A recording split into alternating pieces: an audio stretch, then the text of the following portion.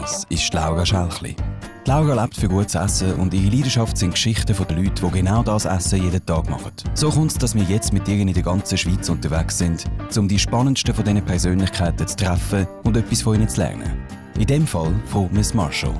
Ein, wenn man so will, konzeptbasiertes Guerilla-Edelglasse-Pop-Up-Trio.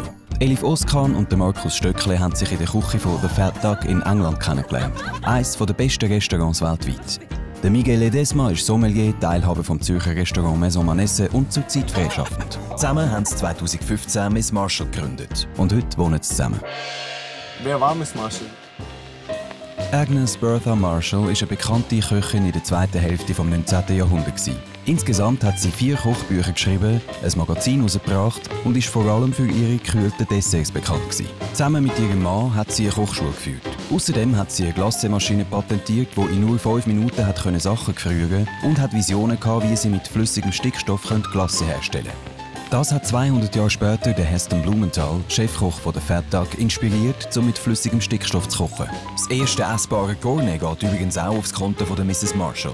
Vorher hat man beim Glassestand stehen bleiben, bis man das Glasse aus einem Gefäß geschleckt hat und es dann hat können zurückgeben, damit es in einem Wasserkübel ausgewaschen worden ist. Merci, Agnes. Was ich wirklich möchte wissen, was hat es im Glasse drin? Natürlich hast du die Milchbasis-Sachen, das ist so klassisch italienisch, sind die Gelatis, mhm. oder? sobald etwas mit einem höheren Fettanteil kommt, sobald so in Rahm, Surrahm, saurer Halbrahm, alles dazukommt zu der Milch, oder? Und Ei ist ähm, Glasse. Was wir jetzt am Morgen für, für unsere Freunde machen wollen, hängt ganz davon ab, wie das Menü sein wird. Und wenn Sie ein neues Glasse ausprobieren, dann machen Sie das auf Ihre Art. Nämlich als eine ganzheitliche kulinarische Erfahrung. Fünf-Gang-Menü mit Klasse zum Dessert. Es ist nicht so, dass wenn wir zusammen am Abend äh, ein Rezept aufschreiben und das ist es dann. Das ja. ist immer der Prozess. Und das Einzige, was genau. uns in den Sinn kommt, ist vielleicht, dass wir gerade am Wochenende ähm, mit der Kräuterhexe in den Wald gehen oder sowas machen. Au! Wir müssen ja, mal querfeld eingehen. Ich habe gedacht, wir gehen jetzt im Wald und ein bisschen easy. Und wenn wir einen Ameisenhaufen sehen, einen riesengroßen an einem Baum, dann müssen wir unbedingt anhalten. Das heißt, das hat hart. Darf man das überhaupt? Weiß nicht. Easy ist Moos geschützt. Für was nimmst du Moos? Miguel? er tut es putzen, nachher frittieren. Nein. Dann isst es als Snacks.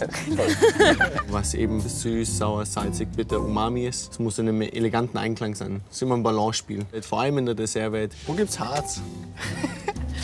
Du musst dich ein bisschen beruhigen. Wenn du es so fest suchst, findest du es nicht. Der Liebe. I found it. oh. Migi, was machen wir, wenn wir kein Harz mehr finden heute? Braucht, brauchst du den noch? Ja, immer einen Schritt weiter gehen. Also sich immer eine neue Challenge setzen, äh, neue Sachen ausprobieren. Muss probieren, aber eh lecker. Sowas, meinst du sowas für Infusion? Cold Infusions. Yes. Ja, wir sind in dem Fall einfach zwei kalte äh, Zutaten zusammen. Eine flüssige und eine trockene. Oder eine frische. Mit der Flüssigkeit aromatisieren. Wenn ich eigentlich Eistee daheim mache, ob es jetzt mit frischen Zutaten ist oder mit getrockneten, dann tue ich eigentlich wie einen kalten Aufguss machen und lasse den stehen. Natürlich kann man das so Freestyle machen, also du musst, müsstest es nicht abwägen.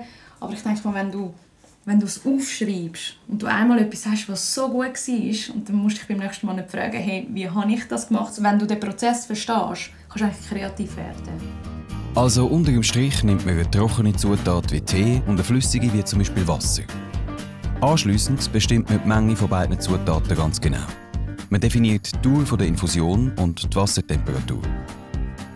Dann hat man zum Beispiel Eistee. Danke, Eli. Sehr gerne. da kann man sich richtig austoben. Apropos austoben.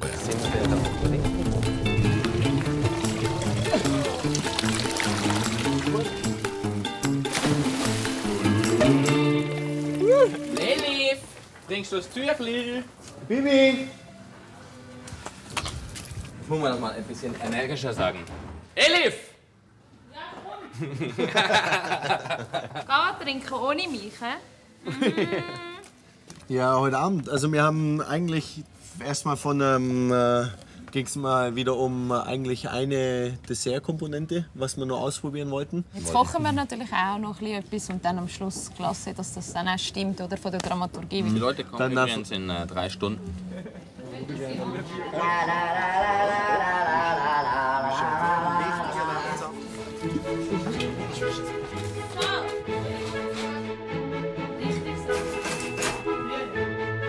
Ein Fünfgang-Menü für 10 Personen von Miss Marshall fängt mit einem Hauch von Bergamot an. In einem Heliumballon. Happy Birthday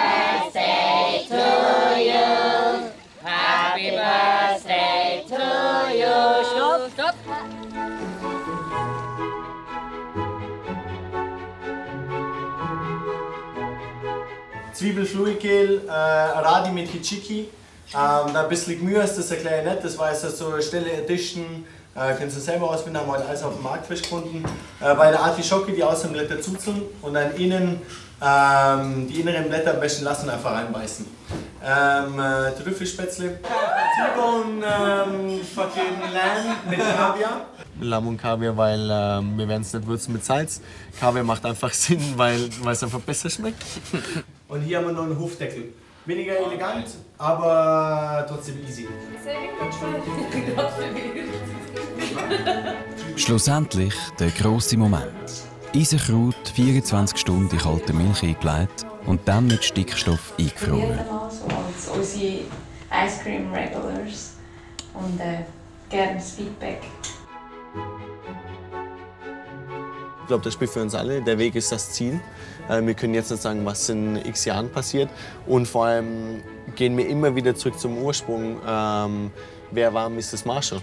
Deswegen auch ähm, nennen wir uns Miss Marshall. Ähm, weil wir noch in einer absoluten Pubertätphase stecken. Welche, wir probieren aus, was funktioniert da, was funktioniert da, welche Richtung wollen wir da hingehen. Schön gesagt. Hat er schön gesagt.